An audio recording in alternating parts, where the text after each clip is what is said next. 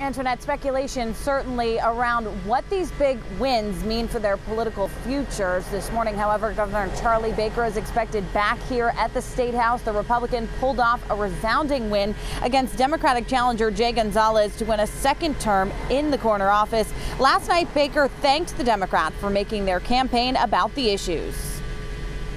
No one knows better than me what it's like to leave a job you love campaigned for 18 months across this Commonwealth, and come up short on Election Day. It stings. I thanked him for his public service, and you know what? You should too.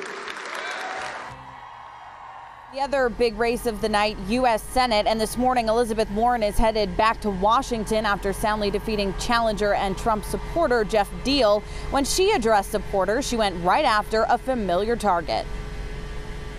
Donald Trump and his corrupt friends have spent the last two years building walls of anger and division and resentment.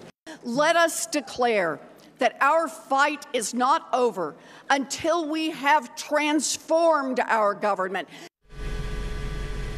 Senator Warren has said she would consider a run for the White House after this election, so you know all eyes will be on her now at this point. Live at the State House, I'm Katie Thompson, WCVB News Center 5. Bye.